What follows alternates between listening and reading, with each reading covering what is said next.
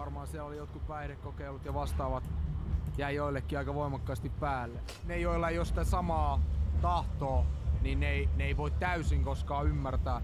Ja sit joskus jengi kysyy, että miten tommosen parran saa. Gustokin päkkärillä. Keikat pauhaa, mutta tänne on saatu Manisen keskustelukortteihin Lauri Haav. Äijä veti justiinsa keikan tuolla. Mitä sä itse näet niin ennen keikkaa valmistautumisen, niin onko se sulle enemmän henkistä vai fyysistä? Ää, varmaan henkistä. Tai mä just jauhoin tuossa mun friendin kanssa, että et, et mulla on niinku... Mä, ennen keikkaa mä en oikein tee mitään, mä vaan oon backerilla sille ehkä puoli tuntia ennen keikkaa ja sitten just ennen keikkaa kun se alkaa, niin mä teen mun rituaalit. Mitä siihen rituaaleihin kuuluu? Ää, Mä oon, mä oon nähnyt, mä, mä oon ollut Haavinkaa backkariin, kun se on valmistautunut keikkaan. Ootte sitten ollut? Ette oo. Ää. mä, mä teen aina kolme punnerusta. Miksi kolme? En mä tiedä, koska viisi on liikaa Joo. ja sit kolme on semmonen hyvä, se on niinku tarpeeksi. Bro, et sä sano tolleen. Et sä sano, että viisi, on, viisi punnerusta on liikaa. Haavi nyt. Nyt Lauri vittu. Nyt late. Nyt on semmonen juttu, että lähdet kylmän kanssa salille ja otetaan se viisi punnerusta altuun toi. Ja, mut ei, itse asiassa mä en eilen tehnyt, kun mä olin just tehnyt rintaa salilla, niin mä en eilen tehnyt. Ja mä halusin kokeilla myös, että jos mä en tee sitä, niin vaikuttaako se keikkaa. Ja se ehkä vähän vaikutti. Pidetään siis kolme punnerusta. Mitä muut siihen rituaaliin kuuluu? Öö, sit mä, mä vähän niinku pyydän jotain korkeampaa voimaa messiin. Ja ehkä jotain, mä puhun jotain kauniita juttuja itselleni ja on silleen, come on, tehdään tää yhdessä. Sitten mennään. Aika siisti. Joo. Toi on niinku tärkeä toi myös itsensä tsemppaaminen ja sellainen, niinku mitä monesti ollaan myös tässä podcastissa käsitelty niinku sen suhteen, että vitsi kun joskus tajuisi, että puhuisi itselleen niinku puhuu sille friendille. Koska me kuitenkin ollaan niinku aika kovia tuomitsee itse itseämme siinä samaan, kun me koetetaan niinku piiskaa itseämme paremmaksi ihmiseksi. Joo, siis se ei ole niin helppoa vaan aina. Tai et, et jotenkin siinä kohdassa sit kun saat sitä, okei, tuolla on sikana jengi, niin jos mä olisin siinä silleen vittu, että nyt Lauri, että nyt me ei selvitä tästä, niin se, se voisi olla vähän huonompi. Niin mä yritän olla siinä aika silleen, että et nyt mennään, nyt hoidetaan. No, ennen kuin me ollaan tässä hetkessä, niin mennään vähän ajassa taaksepäin. Jos puhutaan niinku keikoista ylipäätänsä, että nyt oltiin Oulun Kuustokissa, Mm. niin minkälaisia keikkakokemuksia sulla on, Lauri, mielessä, jos sä muistelet sun nuoruutta Jyväskylän Kuokkalassa? Meinaatko sä, että missä keikoilla mä oon käynyt? Niin.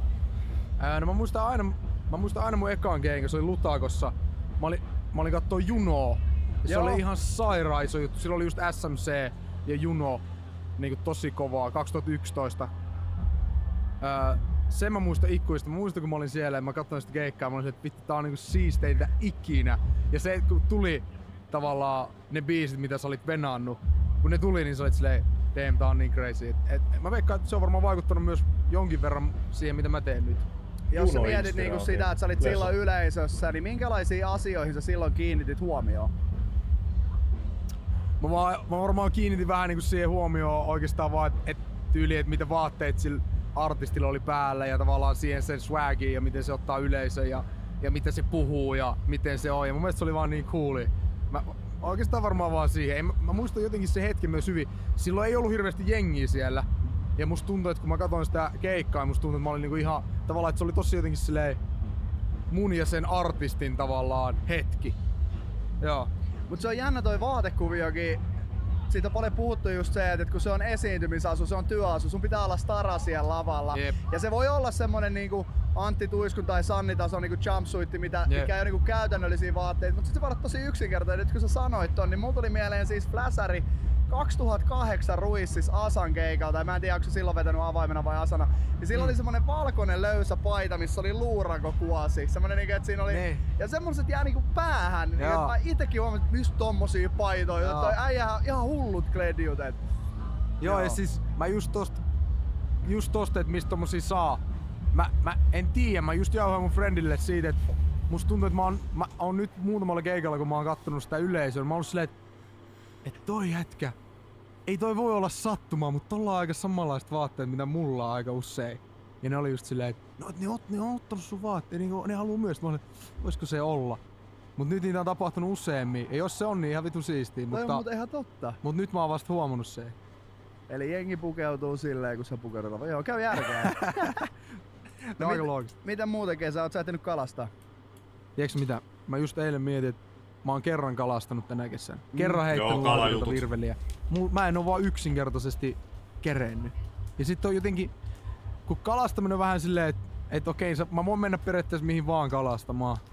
Mutta öö, sitten olisi tavallaan kiva, että sä vähän olisit silleen, että mä tiedän, että mä saan kalaa täältä. Kyllä mä tiedän. Ja siis sit se, että jos sä käyt, jos et sä käy niinku viikoittain kalas, vaan sä käyt vaikka sen viisi kertaa kesässä, Niin. niin sä säästelet niitä niinku Lappia. Tai me käytiin Joo. siis täällä Norjassa on semmonen vuonoalue, mikä vetää niinku Niin. vettä sisään niinku suoraan mereltä ja muuta. Me ajettiin siinä niinku kahden päivän reissu viime vuonna, että se yhden kerran kun sä eit kesässä kalaa, Niin. sun on pakko saada sitä kalaa. Jep, jep.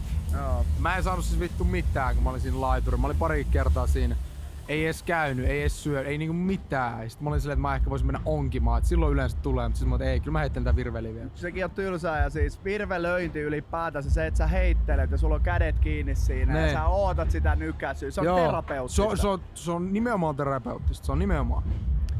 No, jos mennään ajasta taaksepäin vielä enemmän sinne, niin kuin mistä kaikki on lähtenyt, niin jos mun olisi tärkeää tietää, Lauri, yksi asia sun nuoruudesta, mikä on muovannut sua eniten siinä, minkälainen henkilö sä oot nykyään, niin mikä se asia olisi? Huhhuh, aika monen kysymys. Mikäköhän se olisi?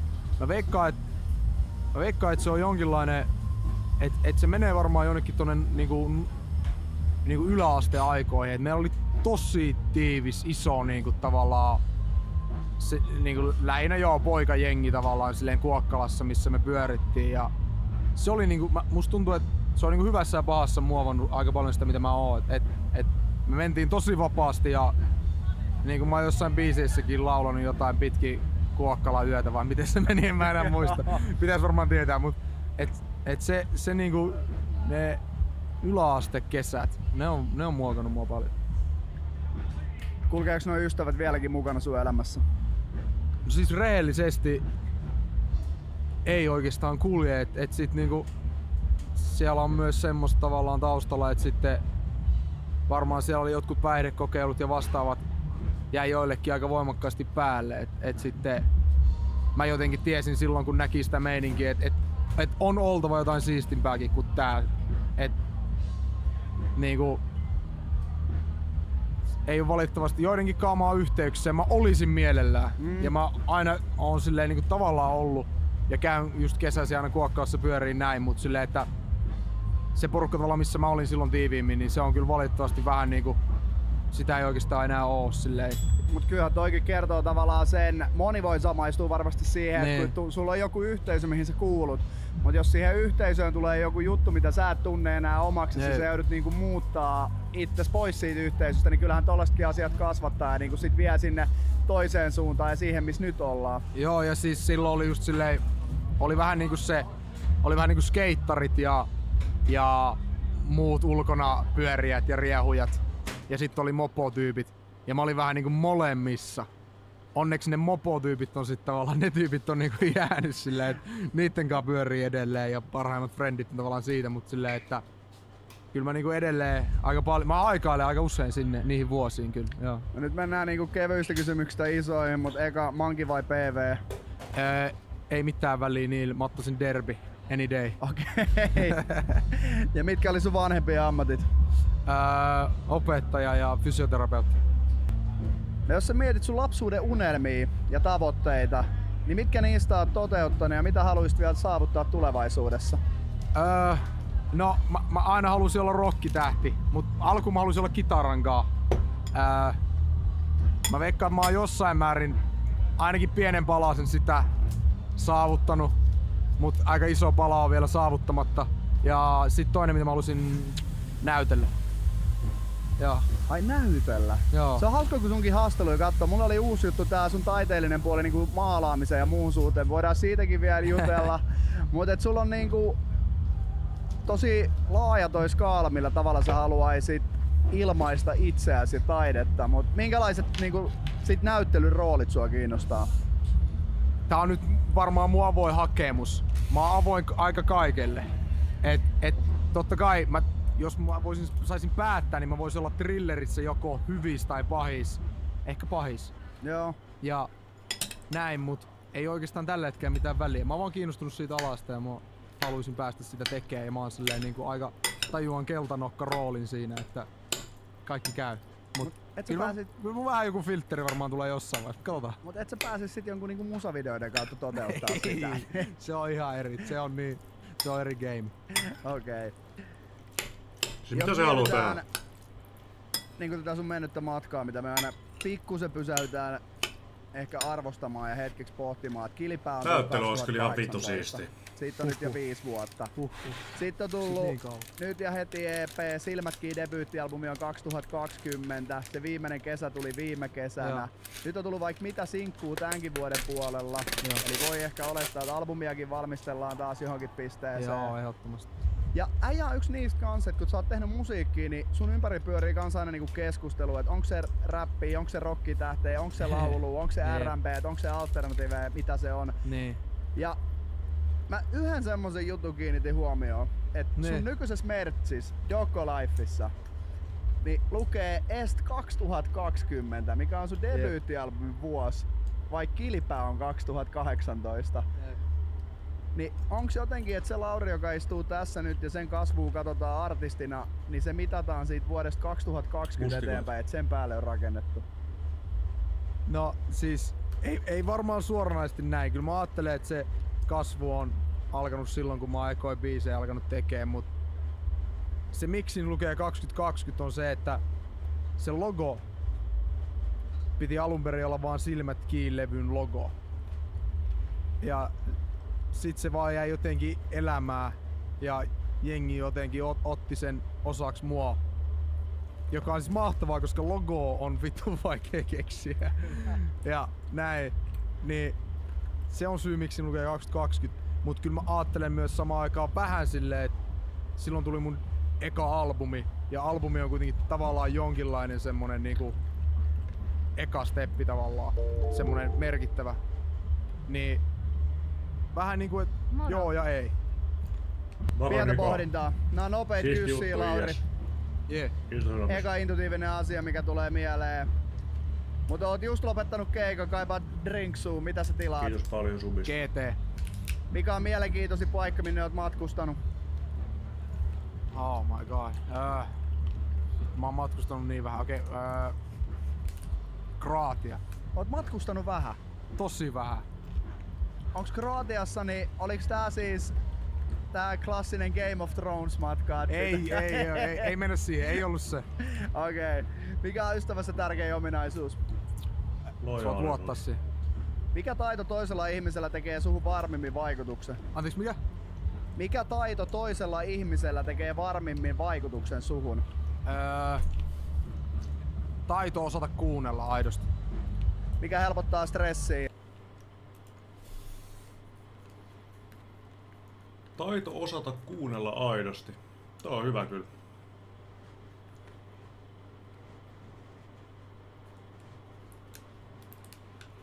Jee.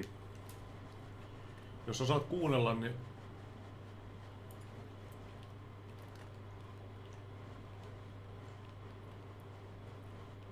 Jep. On hyvä. Mä oon sanonut ehkä taito, taito näyttää niin kuin mitä on. Olla oma itsensä.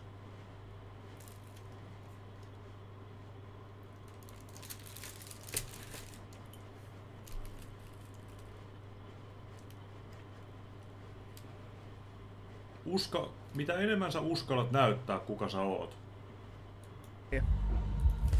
Seksi. Ja sitten kalamiehellä se suurin kalan saalis. Mikä seksi? Seksi. Taito osata kuunnella aidosti. Mikä helpottaa stressiä. Seksi. Ja sitten kalamiehellä se suurin kalan saalis. Ää, en mä tiedä. Varmaan joku tosi hyvä keikka. Ai keikka! Mutta ihan oikeissa kaloissa. Nyt kiloja. Kiloja ja No senttejä. joku hyvä, joku hyvä kuha. Joku kolmekiloinen kuha. Se. se tekee kyllä kalois, mun täytyy sanoa, että laadulla on väliä. Et se, ei, niinku, se ei piristä, jos se on joku särkikala ja se painaa 17 kiloa. Et Kyllä sä haluat ison hauen, Jep. ison kuhan, ison lohe. Kyllä. Peiliin katsomisen paikka. Anna tulla. Lauri, mikä on sun lempiasia sussa itsessäsi?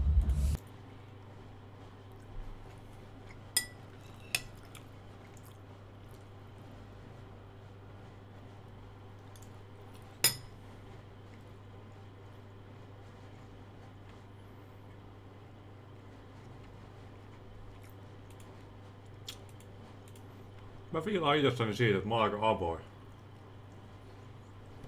Mitä te, chatti, mikä, mikä on piirretteis itsessänne, mistä fiilaatte? Mä fiilaan se, että mä avoin.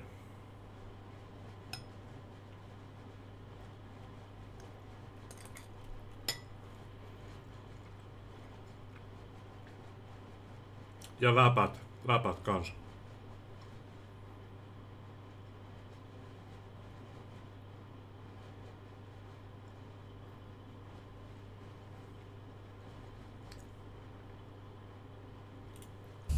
Ää, mä en luovuta koskaan.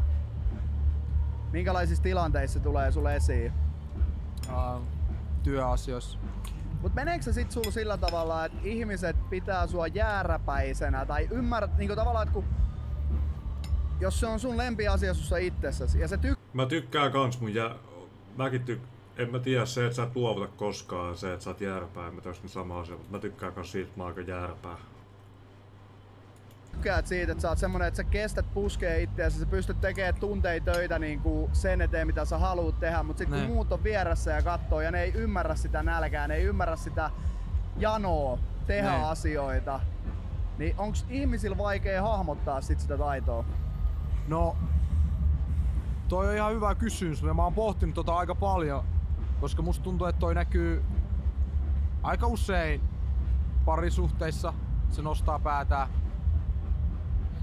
Ja mä en oikein tiedä. Mä, siis se on varmasti synnyttänyt jon, jonkinlaisia konflikteja ja ehkä voisi ajatella mustavalkoisesti, että ne joilla ei ole sitä samaa tahtoa, niin ne ei, ne ei voi täysin koskaan ymmärtää. Mut sit taas ei kaikkien tarvi eikä pidäkään. Ja niinku... Se on millainen mä oon ja, ja, ja oon mä sen, sen takia varmasti ottanut jotain riitoja mitä ikinä ja varmaan muutama ällä ja mut ja mä veikkaan, että mä oon muutaman tuplaveenkin sen takia saanut, niin silleen Mä ehkä, mä ehkä etin tohon vastausta vielä. Mulla ei ehkä oo sitä vielä.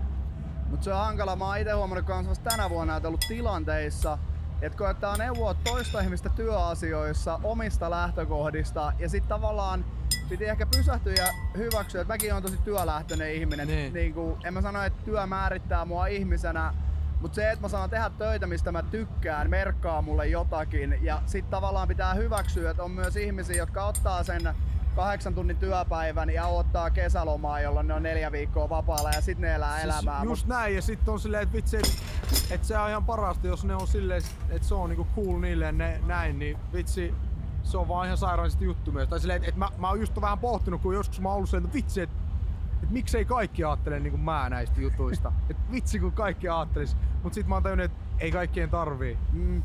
Et, Jep. et meillä on jokaisella on tavallaan oma tapansa tehdä näitä juttuja. Ja Toi on kyllä toi on hyvä pointti. Ton, tonkikkaa mä oon joskus vähän taistellut.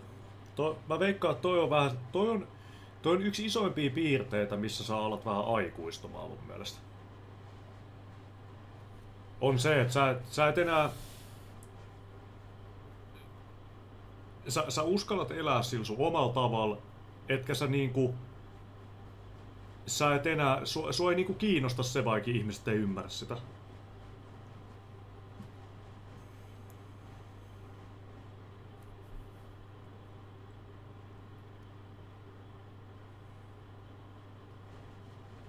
Tai niinku, että se, että joillekin ihmisille se on ihan vittu täysin ok, että ne käy ihan perusduunissa ja niillä on tietty kesäloma ja ne on ihan vitu onnellisia. Ne on varmaan onnellisempia kuin mä tuun koskaan ole tyyppisesti. Ja joskus mä oon ehkä ajatellut vähän enemmän silleen, mä oon miettinyt, että vittu, miksei ne halua saavuttaa jotain, miksei ne halua, tiedätkö, ne voi tehdä ihan mitä vaan maailmassa, elämässä, tiedätkö, silleen, kun ei kaikilla oo sitä. Ei kaikilla oo sitä niinku mentaliteettia tai sitä luonteenpiirrettä tai liekkiä sun sisällä. Että sun on pakko päästä tekemään niitä omia juttuja. Sä oot ihan täysin fine sen kanssa, että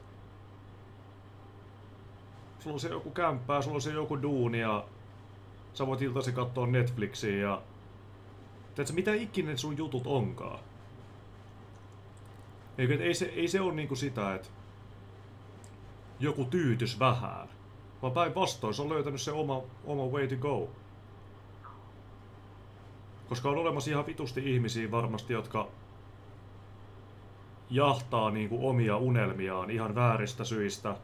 Tai sit ne on siellä perusduunissa ja tyytyy, tyytyy siihen omaan elämäänsä ihan vääristä syistä. Mutta kun se, sillä ei ole niinku mitään väliä, vaan se, se o, oman, niinku, oman tien löytäminen ja mahdollisimman vahvasti sen mukaan meneminen ja se, että sä ymmärrät muiden näkökulmia. Ja sä voit oppia sieltä, mutta se, ettei dumaa ketään.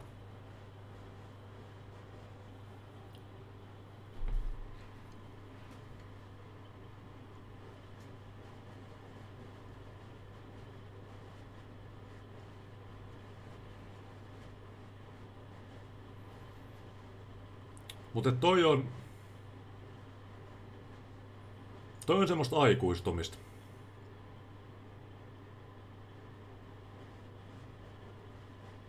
Aika vahvasti.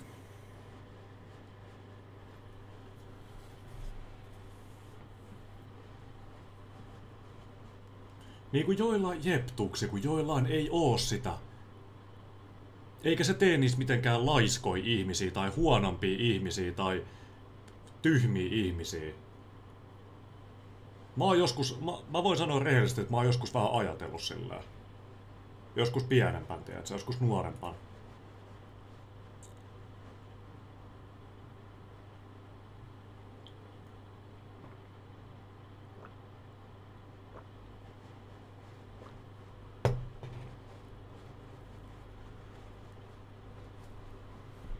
Mitä vanhemmaksi tullut, niin sitä enemmän tajunnut, että ei, ei, ei kaikki ajat, kun se niin kuin nuorempana sitä helposti ajattelee loukii vähän silleen, että kaikki ajattelee vähän niin kuin sinä. Musta tuntuu, että nuorempana on jotenkin tosi tosi itsekäs. Lapsena on niin kuin ihan full itsekäs. Ja sit sä, sä koko ajan aikuistut vähän enemmän. Sä alat tajua sen, että me ollaan kaikki yksilöitä. Meillä on oikeasti kaikilla ihan niin kuin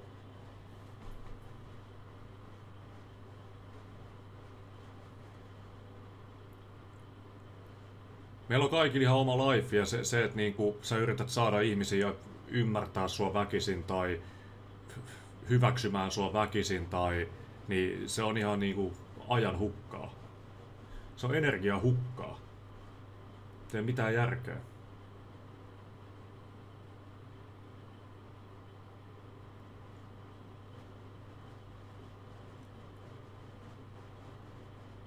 Mut se on just paha, että sit ehkä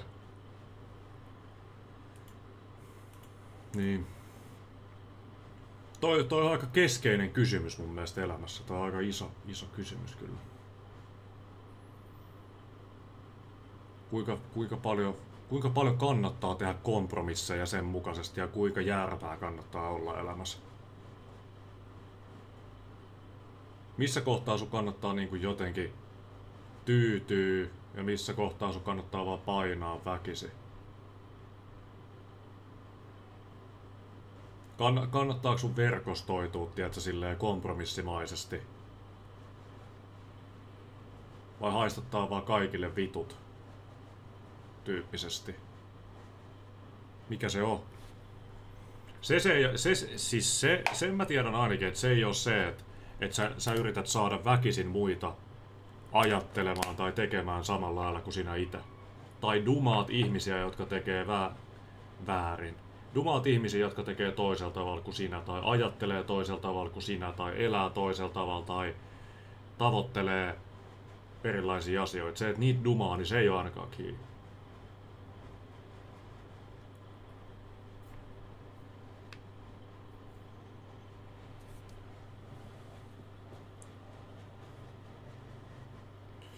Mutta musta tuntuu kyllä, että nykypäivänä se menee vaan vaikeammaksi ja vaikeammaksi. Musta tuntuu, että aitous aitous ja se, että sä näytät sen, että sä oot yksilö, joka ajattelee omalla tavallansa, niin siitä vedetään hirveät johtopäätökset ja ihmisiä mustamaalataan ja vedetään niinku, heitetään dösaalle, että mitä, mitä, mitä, mitä aidompi sä oot, niin sitä enemmän sä oot niinku silmätikku. Se on jotenkin vähän outoa. Hirveästi joutuu niinku sanomisiin miettimään ja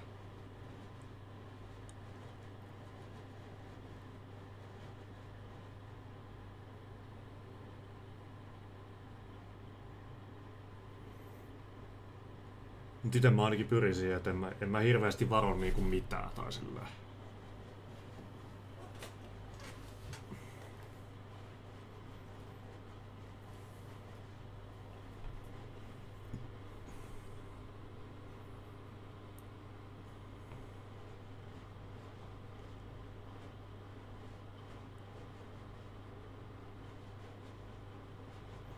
Mutta se on niinku jännä se kasvu, mitä mä oon Twitchissäkin No voi sanoa, että joutunut käymään läpi, mutta thank god mä oon saanut käydä sen läpi. On ollut se, että eka, ekana mä oon tajunnut sen, että ihmiset ei todellakaan, niin kuin, että, että, että mun on päästä, pitänyt päästää siitä egosta pois, että kaikkien pitäisi ymmärtää mun kaikkien pitäisi ymmärtää mun näkökulma asioihin ja se mitä mä teen ja näin. Että jotenkin, jotenkin sen, sen on niinku huomannut, että mitä enemmän ja mitä vahvemmin sä vaan teet sitä sun juttua ja uskot siihen sun omaa juttuun, niin sitä enemmän sun ympärille tulee myös pyöriä, ainakin tässä mun tilanteessa, semmosia tyyppejä, jotka ei, tai vähän närkästyy siitä, mitä mä teen.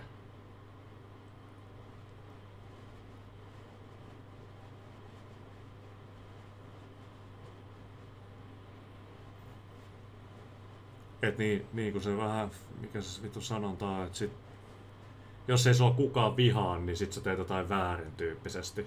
Et ehkä se, ehkä se jotenkin vähän, se, se käy niin kuin mulle aika vahvasti, koska mä oon huomannut, että mitä enemmän mä luotan itteeni, mitä enemmän mä teen omaa juttua ja luota omaa visioon, niin sitä enemmän tulee semmosia tyyppejä, jotka ei fiilaa siitä. Ja ne tulee kertoa mulle, että et sä voit tehdä tolleen. Koska sa- sama, samaa aikaa se, kun jos mä oon aikuistunut ja jos mä oon ymmärtänyt sen, että et ei dumata muita, niin en mä nyt, se menee taas niin kuin tosi ristiriitaisesti sit, jos mä en ymmärtäisi sitä, että on olemassa vitusti ihmisiä, jotka ei ole käynyt sitä niiden päässä läpi. On olemassa vitusti ihmisiä, joiden mielestä on ok dumata, jos ei mene täysin samalla lailla, mitä itse menee. Ja mä ymmärrän ihan täysin senkin. Jos sä oot oikeasti fine elää itseskaan silleen, että sä dumaat muita, jotka ei tee samalla tai ajattele samalla kuin sinä, niin mä ymmärrän sua. Niinku fine. Mä toivon vaan, että sulla on kaikki hyvin ja sä oot täysin niinku rehellinen itsellesi, tiedätkö? Mut se on toinen juttu, että haluuks mä hengaa sun kaltaisen ihmisenkaan. En mä esimerkiksi haluaisi hengaa tai käyttää mun aikaa tai välttämättä tutustua hirveän niinku vahvasti semmoiseen tyyppiin. Et se on jotenkin niinku, että ketä sä sit päästät lähelle. Mut se, että niinku... Se, se, jotenkin sille mä en vihaa oikeasti ketään. Mä, mä en jotenkin niinku osaa vihata oikein ketään.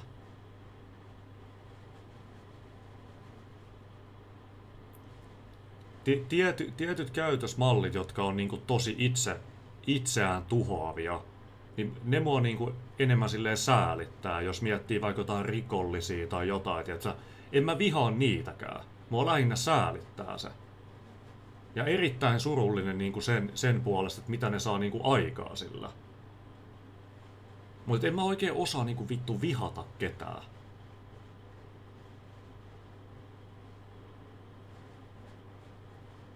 Ellei nyt mennä sitten johonkin ihan ääripää esimerkkeihin, mutta tiedätkö silleen niin kuin ylipäätään, koska mä huomaan jotenkin, että ihmiset, ihmiset vihaa niin kuin tosi helposti ihmiset vihaa tosi paljon. Tiedätkö, jonkun sen perusteella, että minkälaisen biisin ne tekee.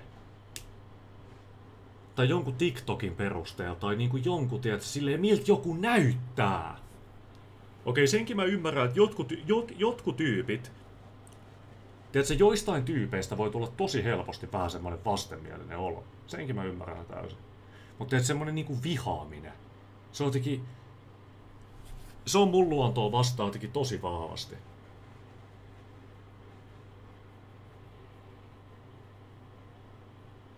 Mutta kyllä mä näen sitä täällä Twitch-chatissakin niinku... Kuinka vahvasti mun chattikin oikeasti silleen vihaa ja rakastaa, tiedätkö? Erilaisia asioita. Ja se on aika vitun kuluttavaa elää silleen. Ja mä en usko oikeasti, että jos sulla tulee tosi vahva... Mä en niinku ite... Tai silleen... Py...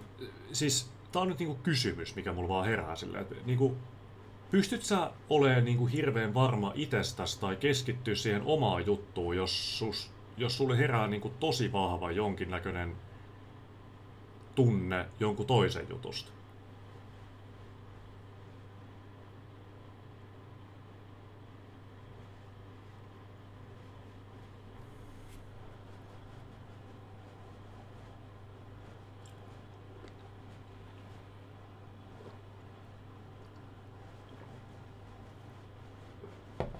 Siis kuinka toi on ihan perusero. Niinku älä mainita. Toi on ihan perus. Se on vaan defenssi, mikä sillä tulee. Se koittaa puolustautua, tiedätkö, sitä paskaa oloa. Ei se sitä ikuisesti juokse karkuun. Jossain vaiheessa käy sen läpi se elämässä, mutta ei se ole sun tehtävä edes niinku miettiä sitä. Mietit ittees, meet eteenpäin, tiedätkö, ei sen kummallisempaa.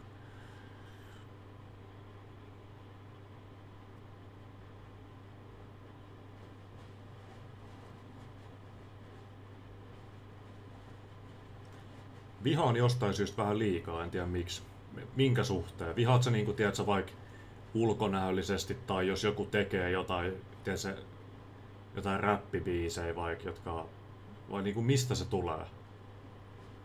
Koska vihahan, se on ihan tutkittu, ei se ole mikään mututuntuma setti, mutta vihahan kumpuu tosi vahvasti niinku susta, että mitä sä näet itsesi.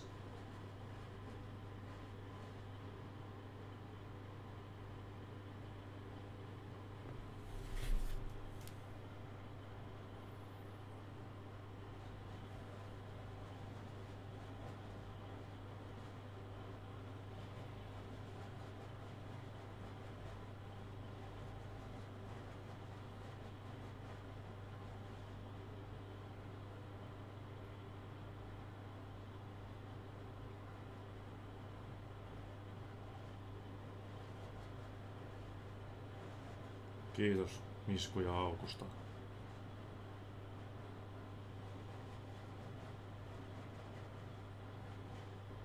Niin, se, se, se voi niinku tosi yksinkertaisuudessa vaan olla sitä, että sä et välttämättä edes taju, että sillä toisella ihmisellä on jotain, mitä sä haluaisit sun elämää.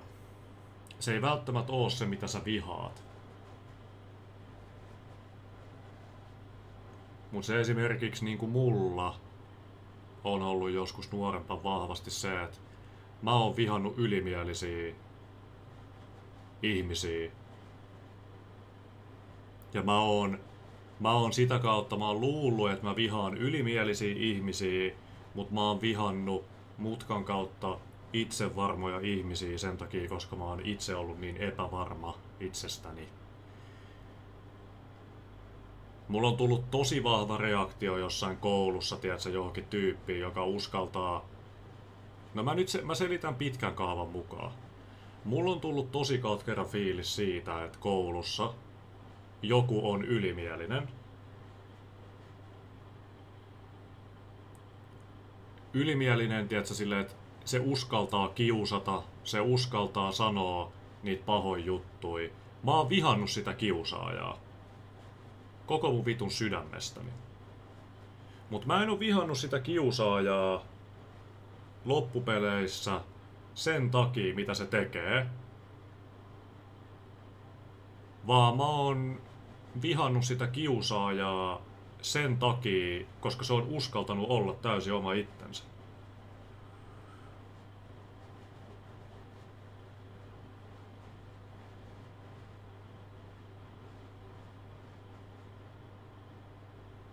Jos, jos mä olisin ollut itse varma siinä tilanteessa, se mun tunne ei olisi ollut viha, mikä sitä ihmistä kohtaa olisi tullut.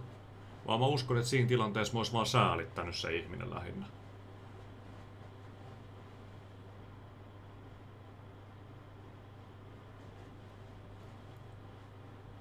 No siis, eihän mä voi niinku varmaksi sanoa, mutta se, että sä uskallat, mä oon ollut tosi herkkää, tosi ujo ja mä en oo uskaltanut, tiedätkö, näyttää mitään tunteita oikein niinku sosiaalisesti. Ja semmonen epävarma, tiedätkö, poika ollut. Niin sit semmoset vähän karskit, ylimieliset, itsevarmat tyypit on herättänyt musta tosi vahvaa semmoista vihatunnetta. Sen takia, koska niillä on se, vaikkei se välttämättä oo hyvä asia niissä siinä hetkellä, mutta se on aiheuttanut mulle niinku se niiden itsevarmuus semmoista vihaa.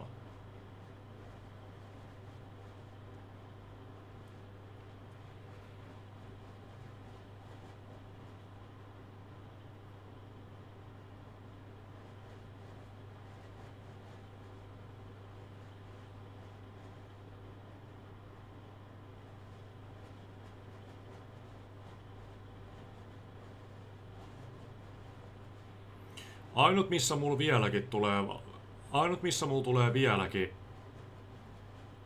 missä, missä niin kuin mä en oo sen mun epävarmuuden kanssa niin kuin, mä en oo kehittänyt sitä parhaalle tasolle, on kilpailuhetket. Kilpailuhetkissä, jos joku hyppii mun silmille, tiedätkö, ylimielisesti, niin mä kilahdan vieläkin. Koska mä oon epävarma siitä mun kilpailuhetkestä aika usein. Voi olla myös semmoinen tilanne, että mä oon formationissa, silloin mua ei kiinnosta se niin paljon.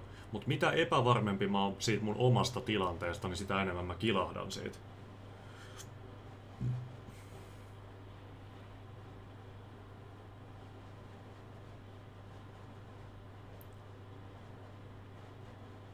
Mutta tota kannattaa funtsia. Tota kannattaa funtsia. Mun, mun niin kuin ainakin omissa kirjoissa viha on semmonen, mikä sun pitäisi eliminoida sun elämästä. Täysin. Viha ei edistä koskaan.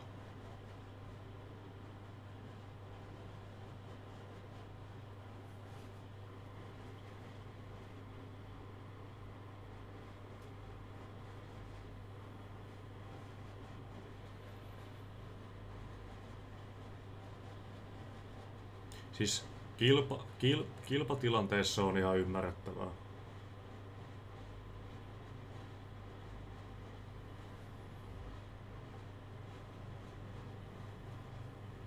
Mut joo.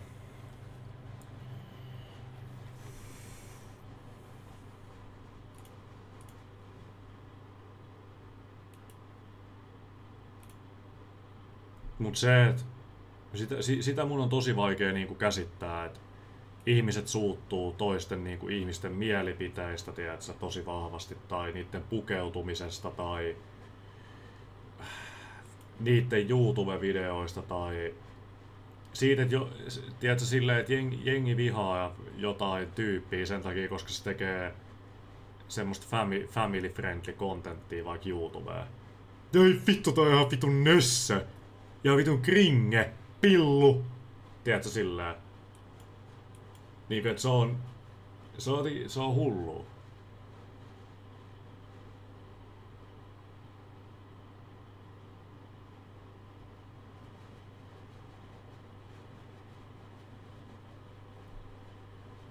Siis, siis joo, Koskeniska, joo, siis kyllä. Kyllä, siis joo. Mä vähän selitin tota huonosti, koska kiusa, jos mä näen kiusaamista esim. nykypäivänä, mun tekee mieli aina puuttua siihen, mun tekee mieli aina olla sen heikon puolella. Mun tekee mieli aina kertoa sille kiusaajalle, että sä oot ihan vitu perseestä, lopeta. Mut se minkä takia mä oon vihannut ylimielisyyttä joskus back in the days on ollut sen takia, vai oli, näin mä sitä hyvässä tai pahassa, niin se ei ole ollut sen ylimielisyuden takia, vaan mä oon sitä sen takia, koska mä oon itse niin epävarma itsestäni.